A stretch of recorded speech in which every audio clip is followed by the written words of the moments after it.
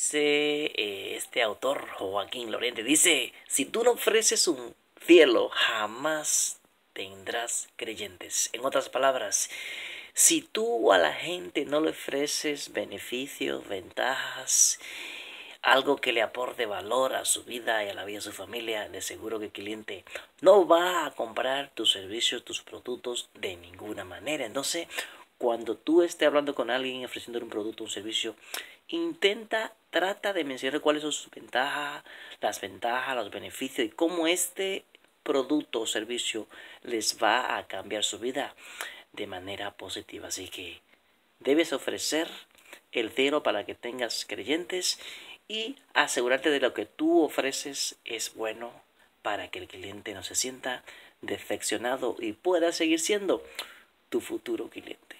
Por ahí te veo, cuídate mucho, ponte las pilas y nunca dé un paso atrás. Siempre añade conocimiento, energía, positivismo a tu vida y a tu producto y a todo lo que haga.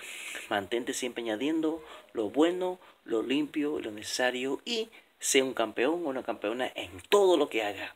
Y no permita que el miedo te detenga. Si no puedes hacerte el miedo, sigue adelante con el miedo porque así no estarás solo, pero como quiera, sigue hacia adelante. Porque adelante que está lo bueno, lo limpio y lo positivo. Chao, chao.